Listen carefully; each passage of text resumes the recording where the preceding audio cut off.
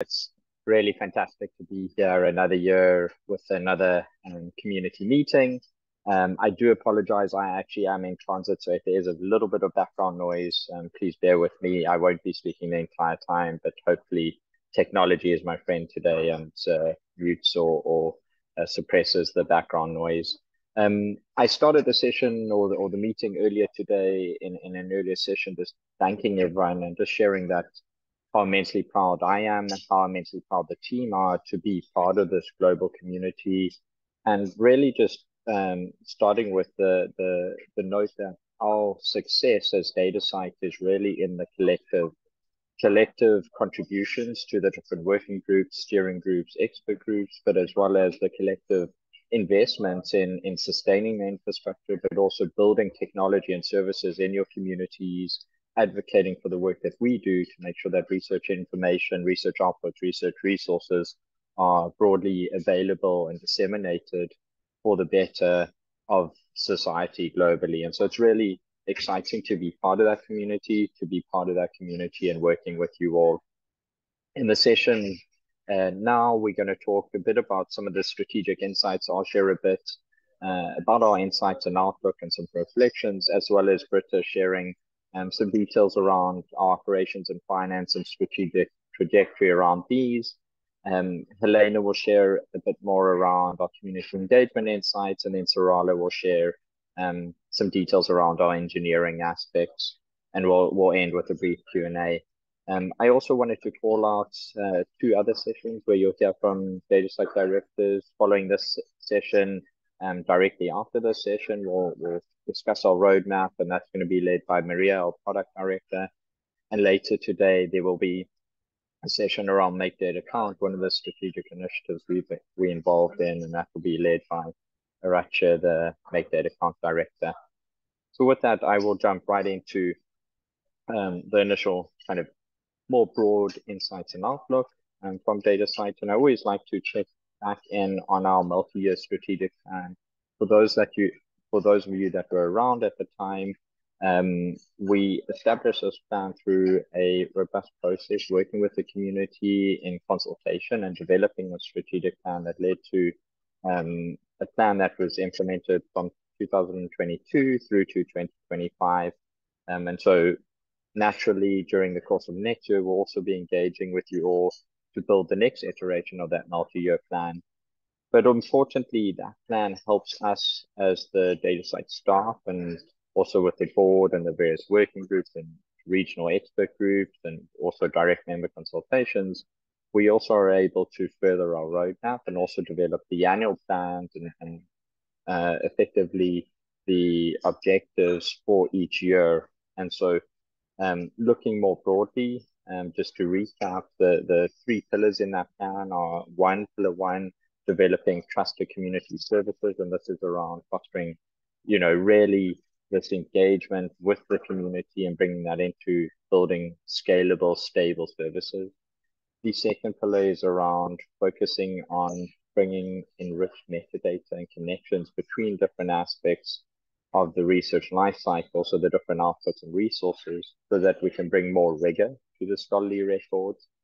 And then the final pillar was around supporting all outputs and resources. And so this includes uh, diversifying the different outputs and resources that we provide as, as part of our controlled uh, resource types in our schema, um, but also looking at partnerships with established communities in certain areas, uh, such as the partnership with IGSN and RAID, and you'll hear a bit bit about that um, in different different sessions today as well as this session.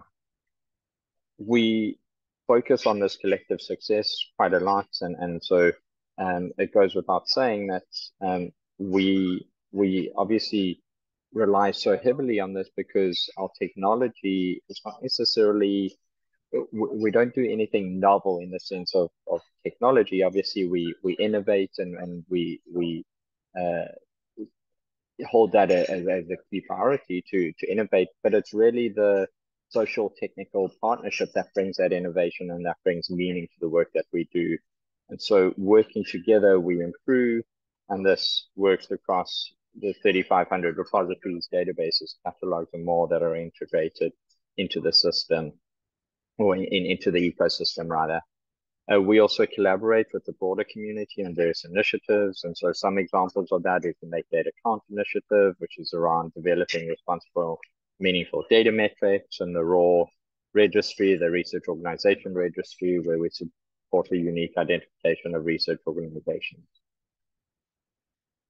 There's a really exciting moment for change in the community. And so you'll hear me talk in a moment a bit about some of the key aspects for, for uh, the, the upcoming years and, and uh, more relevant specifically next year. But one of the core things that we do is focus on metadata. It's not just around the persistent identifier, not just around the DOI, but it's the DOI metadata that brings context and brings meaning to the work that we do. And what we've seen over the course of this year and over the last two years more more more broadly, I think, is that there's more appetite for change and a uh, recognition for interconnection across the research landscape.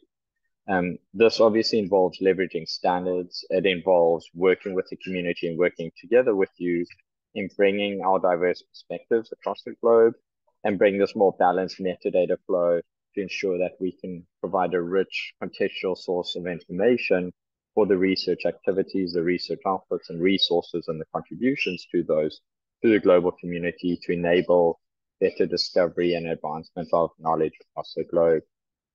And so um, we will you'll see us starting to talk a lot more around um, flows of metadata between different systems and some ideas around this that we need to work through with you as a community and specifically building in core things such as provenance tracking, where metadata is coming from, the different connections, um, as well as functionality to ensure that we can expose metadata um, with that transparency and with that trust that the community needs. Um, one example um, of this typical flow or a vision for a multi-dimensional uh, flow is that we can have um, all of the DataCite members obviously registering persistent identifiers, registering DOIs with metadata. This metadata is harvested by various third parties such as OpenAlex, also here, Scopus, Dimensions, etc. Um, but we also then have this harvested into other sources and other repositories. And specifically, if we think about not just broad harvesting on the entire DOI metadata record, it could be certain elements such as a relational link, so a citation or a link to a branch or a project.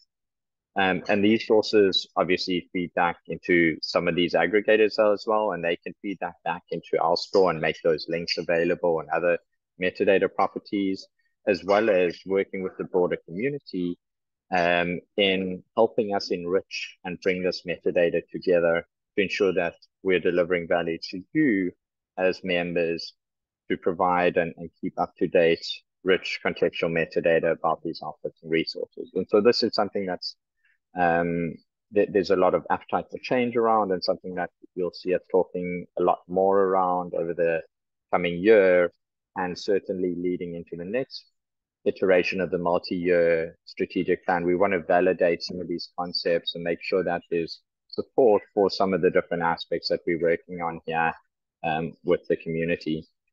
And so looking ahead, uh, really the focus is around metadata. So making sure that we uh, have good structured um, completeness of, of metadata properties, as well as enhancing the schema, um, the quality and the provenance needs to be there so that we can track how metadata is kept up to date. And we also need to ensure that we expand our services and refine our services to these evolving needs of the community. Um, all this being said, as a community organization, as a global community, everything that we do remains grounded. And DataCite was founded in 2009 by the research community for the research community. And so that remains true today is that everything that we do, the direction, the decisions are driven by the community and working hand in hand to make these decisions together and refine our ecosystem. It's an iterative approach, so we don't look to make um, disappear and come back in a year's time and say, hey, this is something that we've been working on.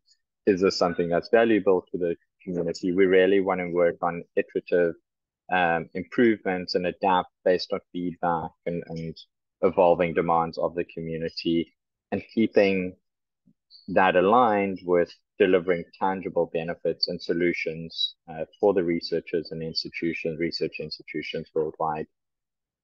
With that, I will hand over to Britta, and she will share a bit about some of the operational, financial, strategic aspects. Yes, thank you, Matt. Um, I'm Britta Dreyer. I'm DataCite's uh, Operations and Finance Director, and I will hopefully give you uh, interesting insight into our finances, uh, the membership, and our global team, all from a yeah a sustainability perspective. So to start with our my first slide here, um, so to effectively drive strategic direction, just explained and described by Matt, an organization needs a strong financial and operational foundation. Uh, the pie chart uh, on your left shows DataCite's four different revenue streams.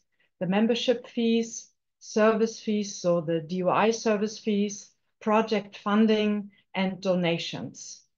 So the stable revenue from membership and service fees is essential to fund scalable infrastructure and highly skilled personnel for handling growth, efficiency, innovation, and support of our membership and the community. Um, this revenue type ensures current and long-term sustainability of DataCite. The more dynamic and time-limited project funding is also very important, and it's used for community-driven innovation and collaboration. You know, Matt, Matt, just mentioned, you know, the metadata um, enrichment initiatives that also would be one example of that community-driven innovation. Um, so, and at the end of last year, we introduced our brand new fourth revenue stream, donations, as a charitable association we can, um, you know, accept donations, um, and these donations are directly contributing to the Global Access Fund, enabling participation for less represented regions. I will talk a little bit more about this later. Um, so, and the, the line chart basically shows you the five-year trajectory of these uh, income types. And you see that um, there's a steep increase in service fee revenue in the last five years. And the reason for this are twofold. So firstly, an increase in DOI registrations across the community, particularly as Matt has mentioned, the IGSN community joining DataCite. Um, and secondly, the introduction of the consortium model in 2020, which enabled year to date uh, 1,210 research organizations to join one of the 63 global consortia. And you know, they generally pay service fees exclusively, at least to DataCite. Um, and you can also see that project funding fluctuates as projected. Um, so there, there will be peaks and, and dips that don't affect our you know sustainability. Um, but these are important for innovations, as I mentioned earlier. So, and we are continuing our efforts uh, to generate donations. Next slide, please. So here you see um, the development of the different member types uh, and the consortium organizations uh, on a five-year trajectory. And you see also the distribution, uh, the green, these are the consortium organizations. They grow rapidly in number, as I mentioned.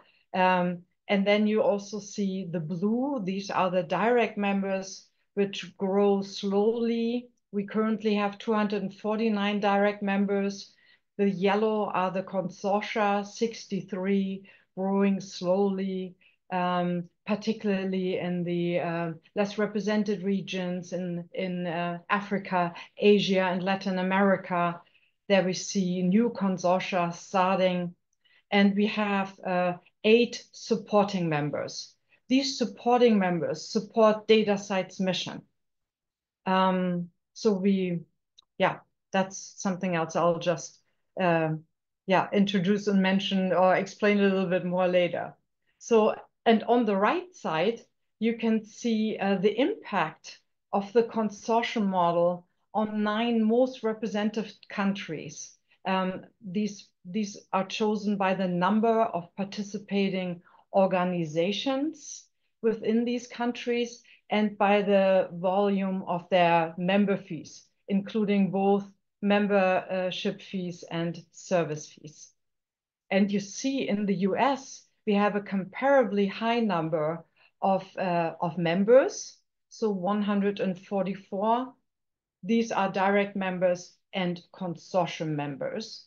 And we have 87 consortium organizations. Whereas in Germany, you see a very much inverted ratio where we have only 25 members, you know, again, including consortium members, and 241 consortium organizations. And as you go down the line, uh, you see that this inverted ratio continues across the other seven most represented countries. So as a membership organization, we understand the importance of community and the value of direct collaboration. That's why we introduced, and now I've come back to the supporting member program. So we are reintroducing or basically launching a supporting member program designed for consortium organizations that want to support DataCite directly while still benefiting from the guidance and services of their local consortium lead. That's one leg. And the other strong leg is it welcomes participation from the broader community, enabling everyone to contribute to and to strengthen our shared mission. Next slide, please. So about 10 years after we were founded, uh, in the third quarter of 2020, DataCite reached economies of scale, where the non-project expenditures, the green line, are less than income from member fees, including you know, membership fees and the DOI service fees components. Um, this is achieved by multiple efforts, uh, including the, the continuous membership growth and you know the consortium organization growth, obviously as well, very much so, and uh, the increase in DOI registrations. Both of these effects are on the income side. And on the expenses side, it's due to dedicated cost management via budgets and saving plans, as well as process automation. And the automation efforts include the integration of several systems, for example, Fabrica and our CRM system to streamline membership support, adoption, application, as well as billing and uh, accounting processes. Very recently, we have implemented an automated process, process to efficiently and transparently manage the Global Access Fund. The, the achieved surplus, so the gap that you see between the green and the blue line starting in, the, in 2020, uh, is essential. That surplus is essential for organizational long-term sustainability uh, and participating in participation in community-driven developments and also in the you know, strategic partnerships we have. Next slide, please. Um, so we are a global team and uh, we have a very diversified team in terms of countries and languages. And here you see the positive correlation between local team support and the expansion of member countries. The green line representing the countries our team members uh, are based in, and the orange line, the growing um, member country number. We understand that membership participation expansion rely on the strength of a global team, and um, they are key factors in advancing our community-driven objectives. So in 2023 and 2024, we were able to expand to nine new member countries. And you can, next slide, please. Uh, and that's my last slide. Here you can clearly see um, in, in green um, how we have expanded from 2019 to 2024. Unfortunately, only in different shades of green. It's it's a it's a it's a template that didn't let me change the colors. But you can also see circled in red the new regions, and um, that is due to our 27 members in 14 countries speaking 20 languages that have collaboratively expanded the community in Latin America, particularly Africa and Asia. And that was made possible by the CZI funding for the Global Access Program.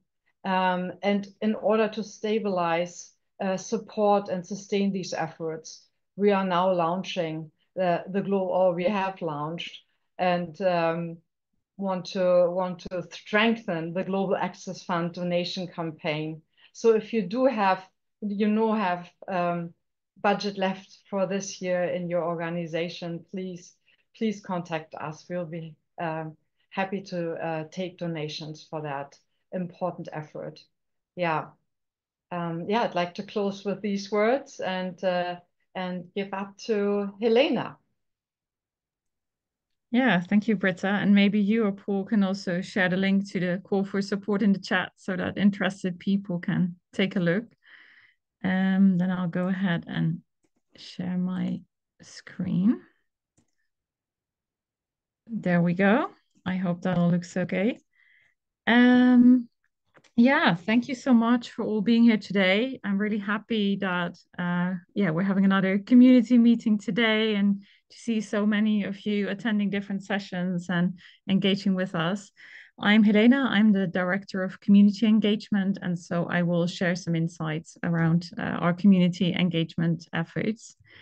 I first wanted to um, introduce the community engagement team um, basically, within that team, we have three different units.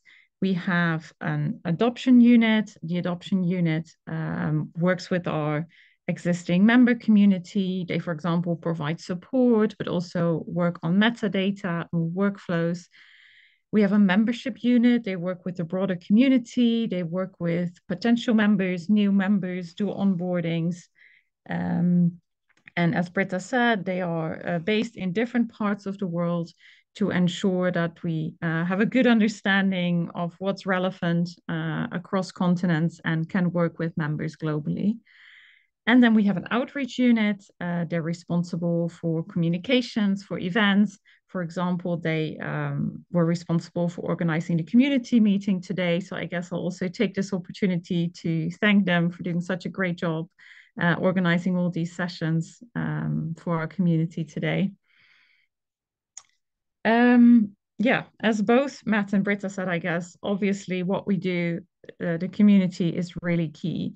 Uh, our member community is a very important part of that, but we work with different kinds of stakeholders. For example, integrators are very important to us. We work with service providers that have an integration with the DataCite API to enable other organizations to register DOIs and metadata with us, uh, and also uh, harvesters that harvest DataCite metadata to make it available uh, across discovery systems, aggregation platforms, etc. Then obviously collaborators, those were mentioned as well, in some cases in projects or for strategic initiatives, uh, organizations that have similar goals that we then work towards together and policymakers um, that drive change through relevant uh, open science, open data policies.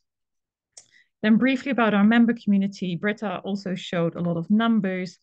Um, just to mention, we have 321 members um, representing 1,457 organizations. I saw a question in the Q&A um, which I can maybe address while I'm talking about this, because I think someone was asking what's the difference between a consortium member and a consortium organization. Uh, when Britta talked about consortium members, she meant the, cons the consortia as a whole. So one consortium is one member, uh, but obviously in some cases representing many different organizations within that consortium. Uh, we work uh, globally across 56 countries, and our members at this point have registered over 66 million DOIs. And you can see that growth uh, in DOI numbers on this slide. Um, DOI registration started um, in 2005 before DataCite was even founded in 2009. But you can see, especially the last couple of years, there has been um, a massive increase in the numbers of DOIs registered, bringing us um, to the 66 million DOIs I mentioned on the previous slide. Uh, and that's um, both registered and findable DOIs for the people that are familiar with the with the different DOI states. Um, and then, as Matt said, obviously metadata is really the key thing. And so also this year, our theme was driving quality metadata and reuse. So we really focus on looking at the metadata uh, that the members register with us. Within our metadata schema, we distinguish between mandatory elements, recommended elements, and optional elements. Uh, obviously, metadata completeness is very good for the mandatory elements because members are always asked to uh, register those. Um, but some of the recommended elements, you can also see that a lot of information is entered. And we're just trying to keep an eye on this to see how we can improve this and work with the members to ensure that um, they enter very rich metadata when they register DOIs with us. Then uh, Another thing that I think provides uh, quite interesting insights into, um, into DOI registration practices is looking at resource types. So which types of outputs are DOIs being registered for?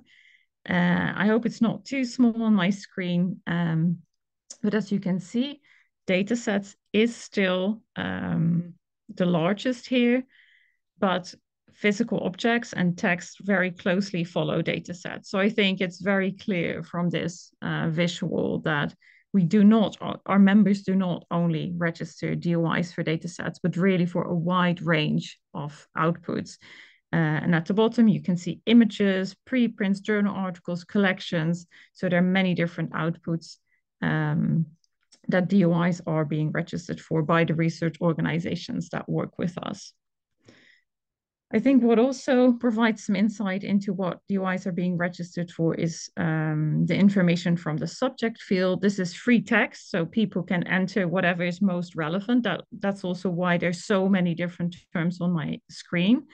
Um, but yeah, it shows us that there are many different domains um, that register DOIs and metadata with us. Now, if we look at some of the highlights um, across the different uh, areas that we're working on within the community engagement team.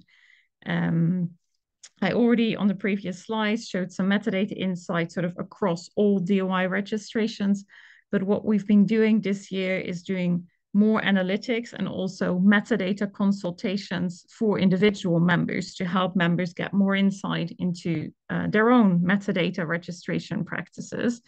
The photo you can see was at PIDfest earlier this year in June in Prague, where we had a metadata health booth where members uh, could uh, come up to us for their own individual analyses.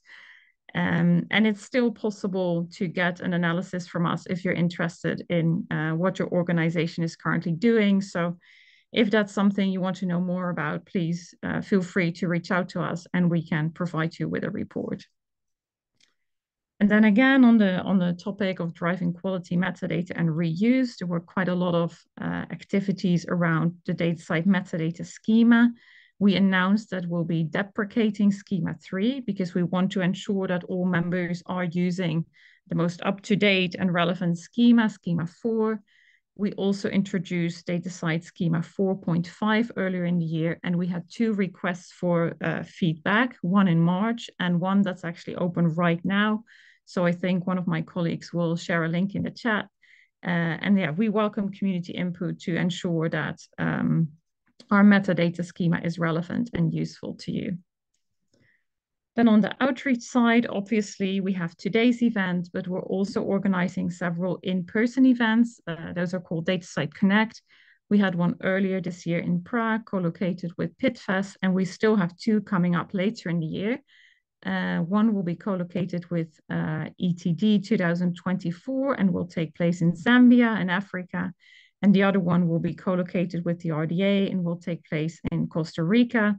So if you're going to be attending one of these events, please do sign up and, uh, and join us there. It's always uh, really great to have a chance to interact with people in person. And also the outreach unit, um, together with the membership unit, launched an ambassadors program this year with ambassadors, I think, from nine countries speaking seven languages to really, as Britta said, support that global outreach and engagement. They also worked on new outreach materials. For example, we have several new IGSN materials, uh, a flyer and a brochure. And we're also working on a new DataCite flyer and brochure. So we're expecting to make that available later this year. Then on the membership side, Britta already shared quite some numbers, but I wanted to highlight that we had four new consortia joining DataCite this year, including in some new countries such as Jordan and Zimbabwe, and also a consortium specifically for RAID registration. We published landscape analyses uh, covering Asia and the MENA region um, to share insights into the repository and PID landscape in the regions. And uh, we'll be making these kinds of analyses available for Latin America and Africa as well later this year. And very important, we have a second call for proposals open right now for the DataCite Global Access Fund. So organizations from Africa or Asia or Mid Middle East or Latin America can apply for funding for infrastructure and outreach activities. So if you are an organization in one of these regions or you are in touch with an organization in one of these regions, please uh, do share the call for proposals. Uh, it's open until the 11th of October. And yeah, we're hoping uh, to receive some really good applications. We're very happy with the applications that came in last year and the projects that are currently ongoing. Uh, so yeah, we believe we'll uh, have another uh, good round this year. And then um, briefly on some of our partnerships, um, Matt touched on some of those as well. Here I just uh, wanted to highlight the partnerships we have currently where we're working with identifier communities think most of you will be familiar with our partnership with IGSN, uh, which is already a bit more established, and all DataCite members have the, the uh, possibility to register IGSNs through their own memberships using their own accounts, and many already are. Uh, and much more recently, actually last week, um, RAID, the Research Activity Identifier, established a DataCite consortium that can be used to uh, register RAIDs for projects. Um, here it's not the case that RAIDs can be registered directly using your existing uh, member accounts. All RAIDs will be registered through uh, the rate, RAID consortium. So if that's something that's of interest to you, then please reach out to RAID. I mean, they're very happy um, to work with you to ensure you can register RAIDs for your projects. And then lastly, also DiSSCo is also a more recent partnership. They focus on uh, the registration of DOIs for specimen. Uh, uh, they got started now with uh, the registration of DOIs within the system and are in the process of scaling up. Um, so that's also something uh, that enables the community to, again, register DOIs for a wider range of research outputs. Um, again, we said we uh, really value all the community input. And I specifically wanted to call out that we have a lot of volunteers that contribute to DataCite um, by being part of a steering group or working group or expert group. Um, and that brings a lot of value to DataCite. I realize there's quite a lot on the slide, but we have two steering groups, a community engagement steering group and a services and technology steering group and the Community Engagement Steering Group works with several regional expert groups, one for the EMEA region, one for the APAC region, and one for the Americas. and the Services and Technology Steering Group works with the Metadata Working Group on our metadata schema. Uh, every year, there's a call for nominations for new um, members to join these groups. So the, the next call for nominations will open in October. So if this is something that's of interest to you, then um, well, keep an eye out or contact us now. We're very happy to hear from you and have new uh, people join these groups. So that brings me to my last slide. Uh, I already mentioned when talking about DOI registration that DataCite was founded in 2009 which means that uh, DataCite turns 15 this year, and actually that happens on the 1st of December. So we'll be celebrating that the first week of December. We'll have a celebratory open hours on the 4th of December. Um, I think Paul will put a link in the chat. Um, please do join us for that so we can all look back at the, the past 15 years. Yeah, thank you. Uh, and with that, I think I'll hand over to Sarala. All right, thank you. Let me just get myself settled in here.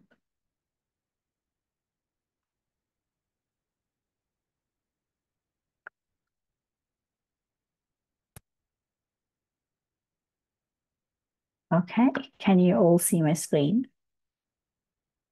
We can indeed. Okay, thank you, Rory. All right, so um, thanks, Helena. I am um, Sarala the engineering director at DataCite. Um, in the next few minutes, I will speak a bit about um, the engineering team and what we've achieved um, so far in the past year, and then I will um, talk a bit about what we will do in the next coming year.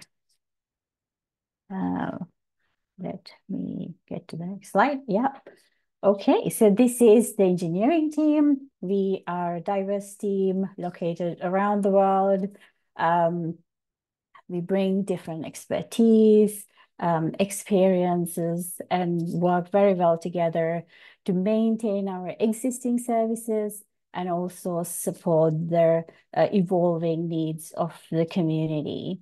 Um, in general, um, each of their team members tend to uh, work on specific services, um, but we all spread across different services when we need to. Um, so as I go through the slides, uh, you will see um, which areas the individuals, the individual team members focus on at, at sort of a high level. So as you all know, um, our core services falls into four major categories. The first one is um, the services around uh, creating DOIs. Uh, so we have many different APIs and also Fabrica, their uh, user interface for creating DOIs. And then um, we have services around discovery. Um, our main discovery interface is DataCite Commons. Um, in addition to that, there's a lot of APIs that you can use to discover the DO, DataCite DOIs and also metadata associated with it. Um, um, we also have a lot of um, um, services that you can integrate with your own tools and platforms so you can create and update DOIs uh, very um, easily within your own sort of systems. And last but not least, uh, we also um, develop a lot of services around um, reuse and tracking of these DataCite DOIs. So I will uh, go into a little bit of detail on each of these services. So um, to sort of uh, talk about what we've achieved um, in the last year or so. Um, as Matt and Helena both mentioned, um, in the past year, we worked a lot with different identifier communities um, to bring in these ident community identifiers, which are functionally DOIs. Um, so we, we worked with IGSN, RAID, and DiSSCo. Um, so last year, we re-registered over 10 million uh, IGSN DOIs. So as you can see on the graph here, um, including uh, our normal DOI inflow as well as their IGSN re-registrations, we added 20 million DOIs just last year. Um, so when I joined DataCite in 2019, we had less than 20 million DOIs. So that was a huge growth in one year. So we had to work a, a lot around improving workflows and providing more uh, resources um, to uh, deal with the the size, and it went really well. So that was a real successful story to tell. Um, in addition, we also released uh, metadata 4.5 earlier in the uh, earlier in the year, um, which supports uh, instruments, pre-registrations, and registered reports and we will work on the next sort of releases in the coming year um, as well.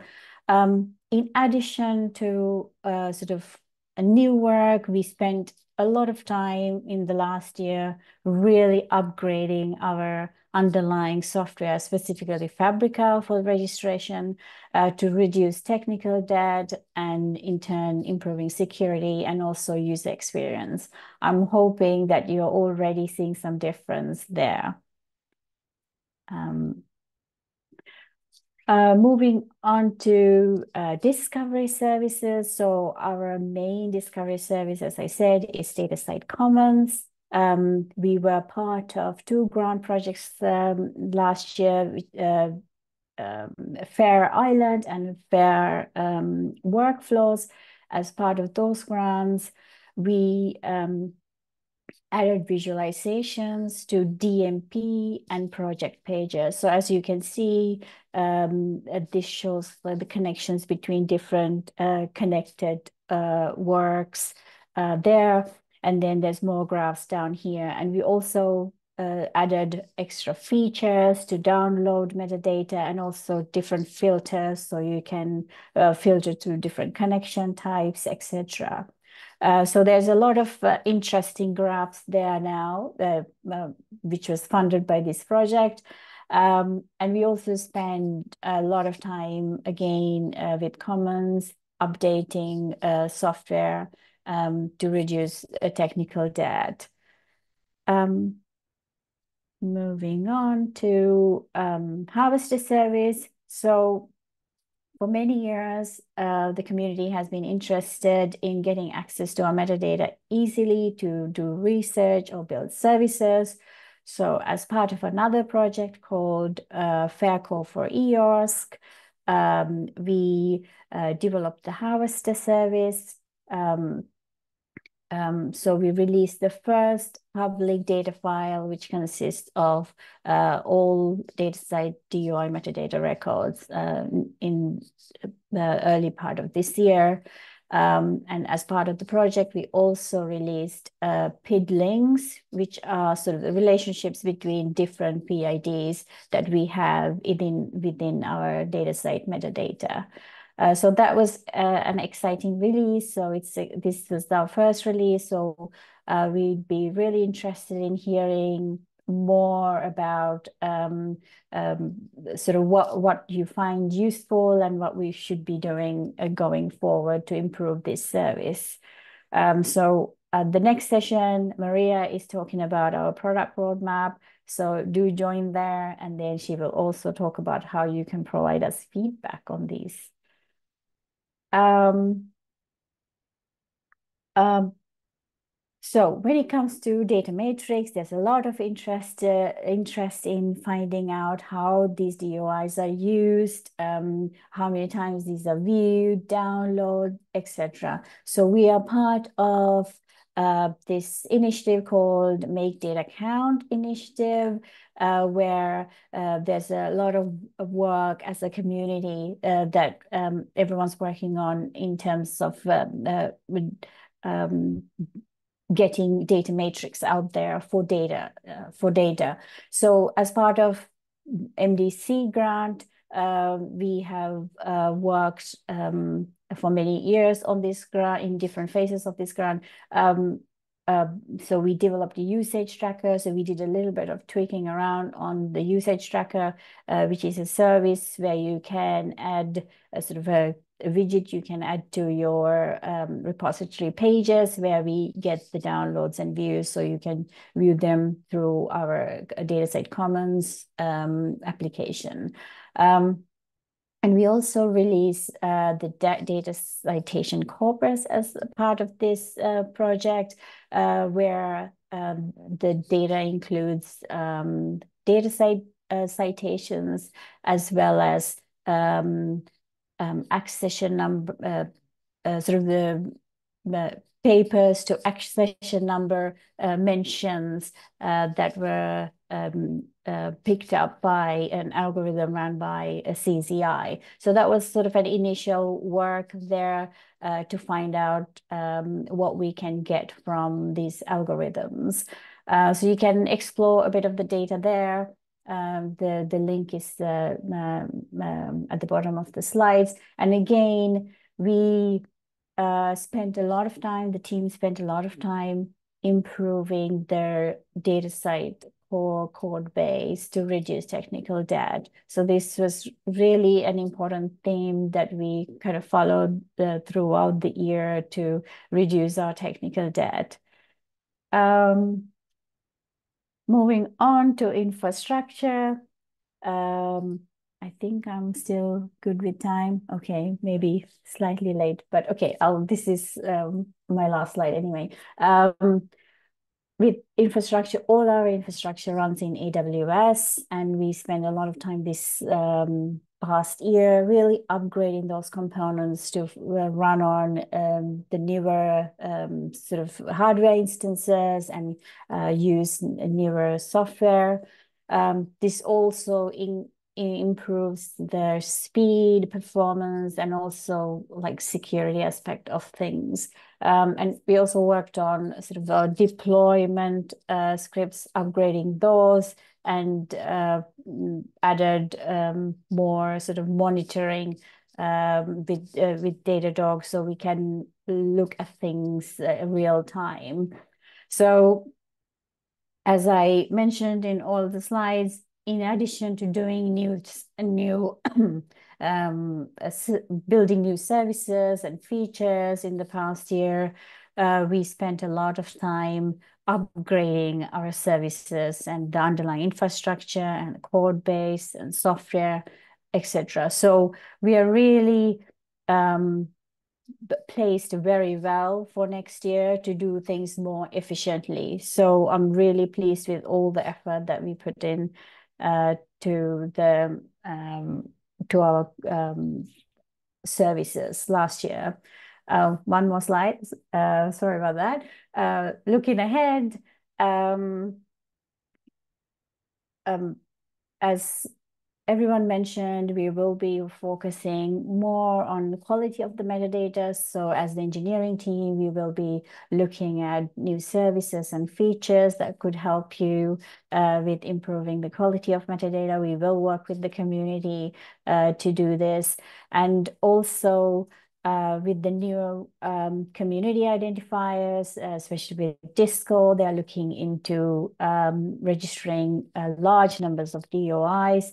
So we will work on scalability and performance of our services to see how we can scale more cost efficiently uh, if we are if we're going to get a lot of DOIs in the coming years. So very exciting year ahead, and that is my update from engineering team. Just to remind everyone, we still have a lot of interesting uh, sessions to come.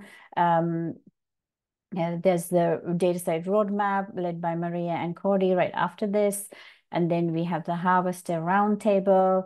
And later on in the day, you can hear more about uh, the Make Data Count initiative and um, uh, about metadata and also open infrastructure. So I will leave, it there. The link is down uh, on the slide. Uh, please uh, do go and register for these sessions to learn more.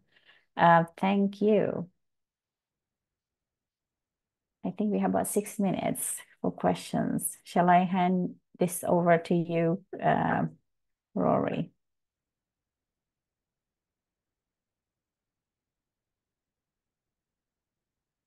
Uh, so actually, we have no time left uh, for for questions. However, I think the questions have that have all been asked have been answered in the uh, in the Q and A. Uh, so I leave it to Matt maybe to say some final words to close. Thanks, Rory. And um, yes, I do see that there was one question that came through. Um, and um, we'll follow up. We'll send some links and some details around that. Maybe Helena, you could type about how to register raids. Um, there is some documentation that we're working on with RAID. We'll provide that link and also share it as part of the uh, presentation and, and links I got following this presentation. Um, but with that, I just wanted to thank you all for joining. Um, we do want to uh, gather more feedback, so please do reach out. Um, it would be great to schedule any direct conversations or follow-up conversations with anyone in the community. And thank you again for your continued support, uh, and we look forward to working with you into the new year.